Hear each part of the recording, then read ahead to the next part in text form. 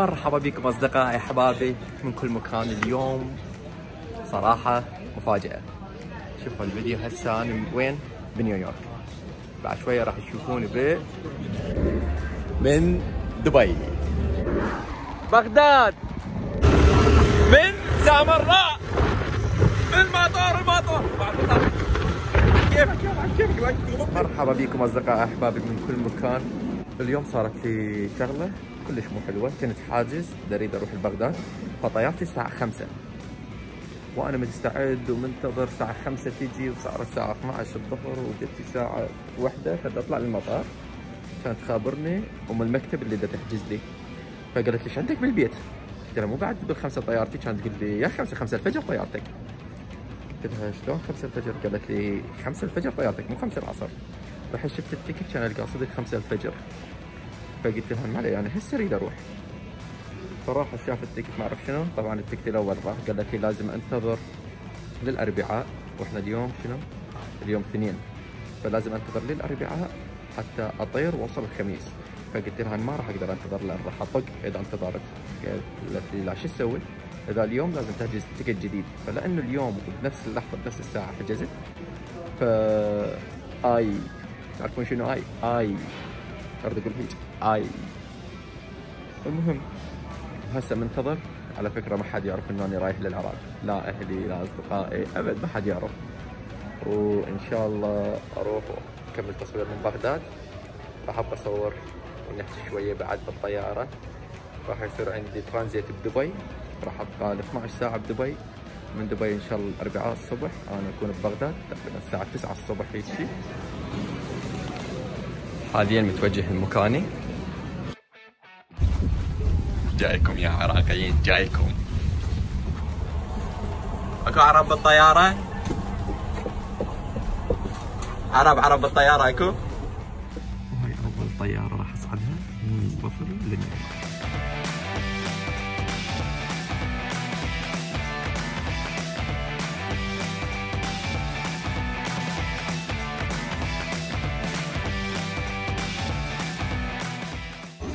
هاي أول محطة نوصلها اللي هي نيويورك.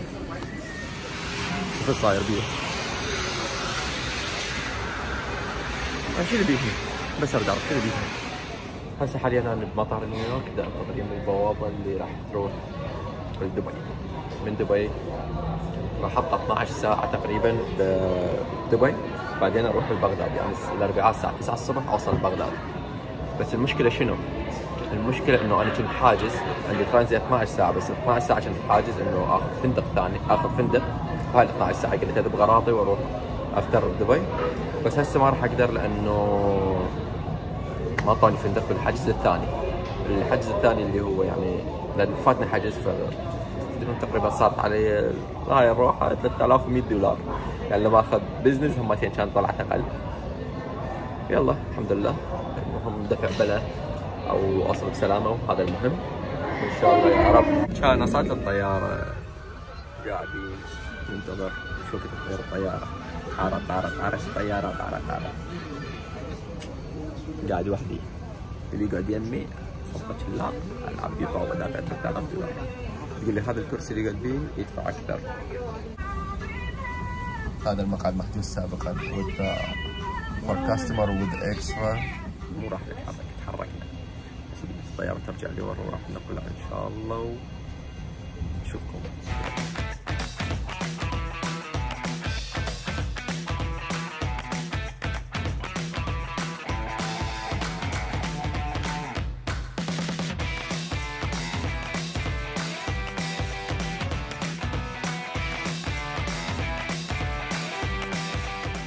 حاليا أنا بمطار دبي وبدا أروح ال border اللي أو مو border ما نسيت شو يسموه اللي هي البوابة الاقلاع مال بغداد.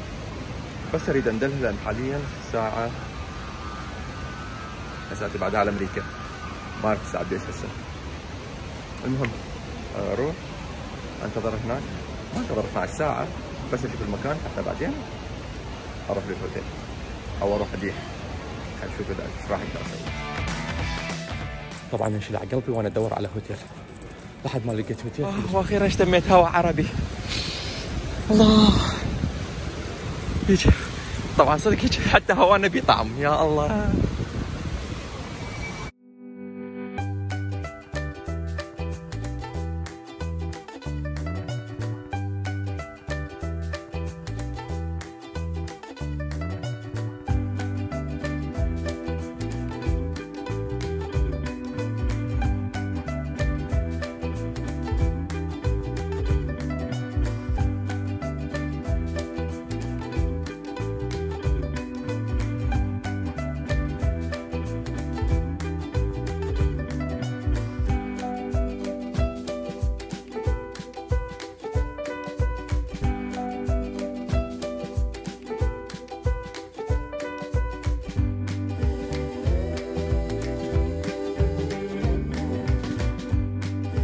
حاليا جوا البرج.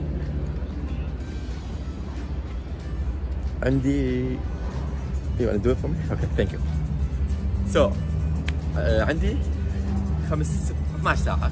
الاستراحة مالتي الترانزيت بس سويت أنا اختار اختصرتها بهاي راح أطلع خمس ساعات هي ست ساعات.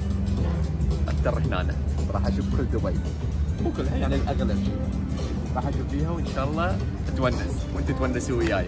يعني ما تضربنا عصفورين بحجر.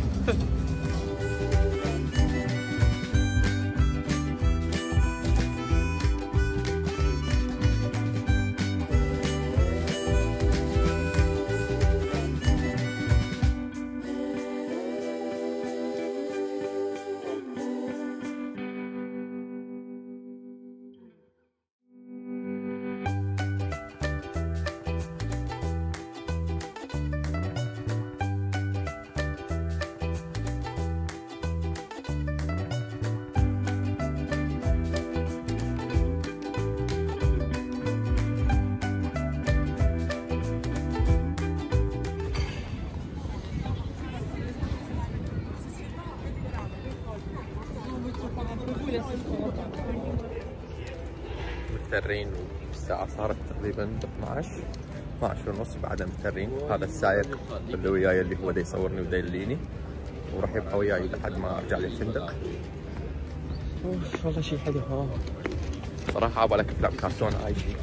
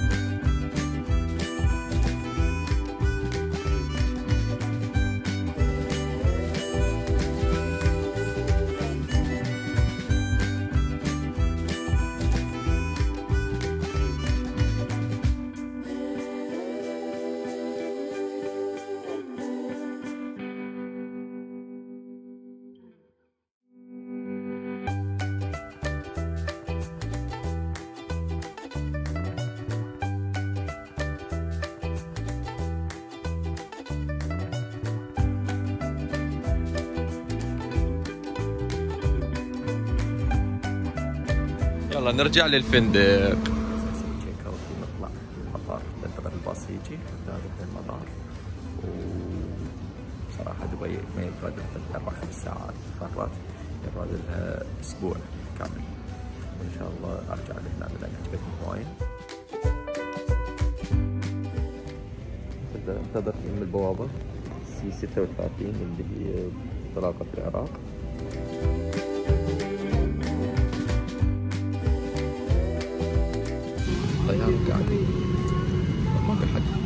سهل أنا شنو؟ نتمدد والله. تدرون شعور مو طبيعي واحد يزور وطنه. والله يجي يحس بوجودكم بس يستعمل خصوصا هو بغداد. يا الله. إن شاء الله يعمل العلم الامان على بغداد. وترجع في ما كانت نريدها أحسن بصراحة ما نريدها مثل ما